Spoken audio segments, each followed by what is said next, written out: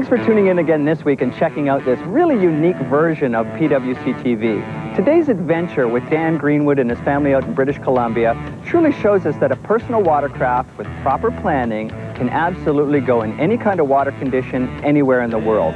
If you happen to be out there and have also done a great story and have some great home footage, like the home footage that we got from Dan and the Greenwood family, would you please send it to us at the information that you now see going across the screen, and you might just be surprised.